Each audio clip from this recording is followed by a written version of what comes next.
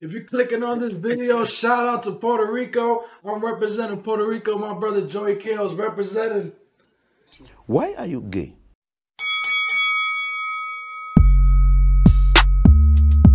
We got none against the gay community. We just thought it'd be funny to talk about the most suspect, gayest moments in fight history because even though we don't got nothing against gay people, it's still hilarious. It's objectively Especially- hilarious. Especially tough dudes who fight for a living doing gay shit. So we're gonna go straight into it. Number five is none other than Mike Tyson. When he was at the press conference or weigh-ins of the Lennox Lewis fight, somebody told Lennox Lewis to put Mike Tyson in a body bag. Mike Tyson heard him, and this is what happened. Pretty awesome. I didn't know any of that. So, Uh, see,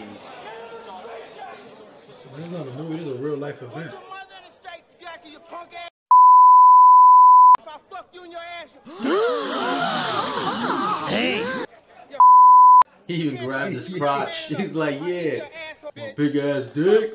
Fuck you ass for the, everybody. Fuck you in the bitch. ass in front on, of everybody." bitch. You scared coward. You got man enough to fuck with me. You can't last two minutes in my world, bitch. Look at you scared. Damn. Scared What is it about being the most testosterone-filled man to have erotic threats? I'll shove that bat up your ass and turn you into a popsicle.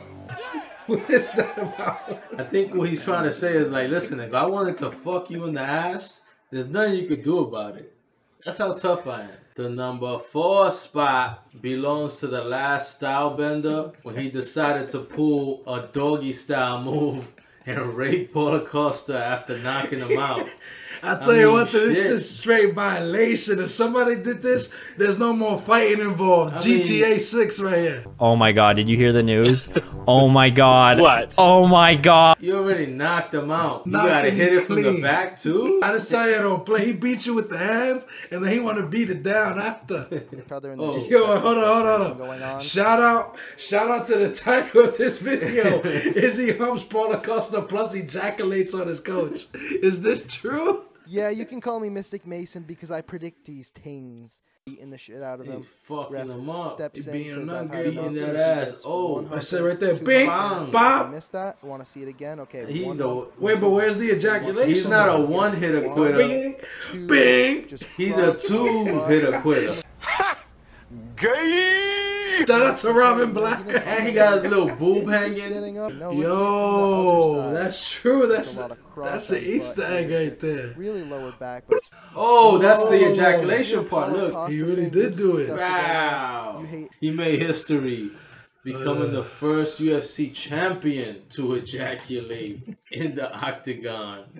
Number three belongs to no other than Adrian Broner and Maidana.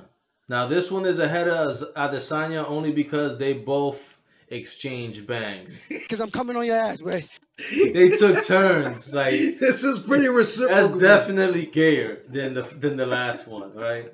One was a taker, one was a receiver, and one was a giver. I'll tell you one thing right now. Both these Maidana, niggas- Maidana got his payback. No matter how you feel about He that. said, "Oh, you think Anybody you gonna, humps me, I'm humping you back, bro.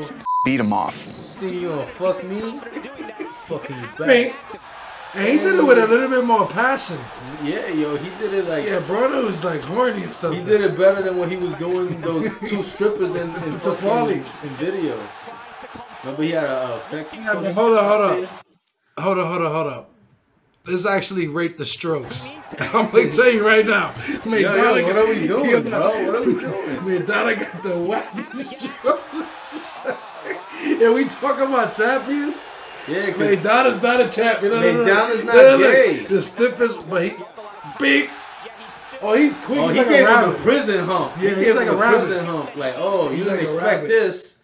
Number two goes to Heath Herring when he got lip locked by the what's his name? Yoshihiro Nakao.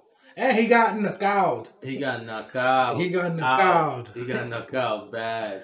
Yo, did you notice that in the video it says muchosucco.com? Does that have Yeah. anything to do? That has nothing to do with anything, but it does say muchosucco.com. What do you think is going through this guy's mind? That he what? Wow. Oh nigga. man. He's like, no, I wasn't ready. I ain't blowing this dude no more. no blowing for him. He knocked me out with a tap kiss. Imagine if I would have slipped some tongue in there. Yeah, Shit. it'd have been over. Your life, you would have got stomped out. out of my face! He's like, damn. He's like upset at himself. Like, damn, I lost my cool. Damn.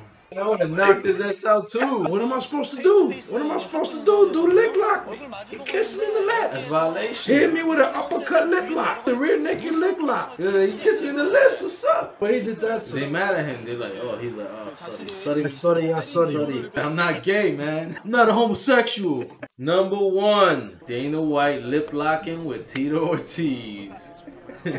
I guess they used to get along when they were dating, but Dana White started cheating on him with Chucky. He is a Fruit Loop. So now we can consider that a love triangle. Chuck, oh, Tito, and Then, Dana. he, then he got his new boyfriend to knock out Tito Ortiz. I'll tell you one thing. After Tito kissed Dana White, he became Dana Pink. he was blushing. Yo, and that was a long one. It wasn't slow motion, really. If there's any more of these you guys want to see, let us know. This was hilarious, and trust me, we love to laugh. So please send requests so we can laugh. Peace, y'all. Don't forget to like, comment, and subscribe, or Mike Tyson's gonna fuck you in the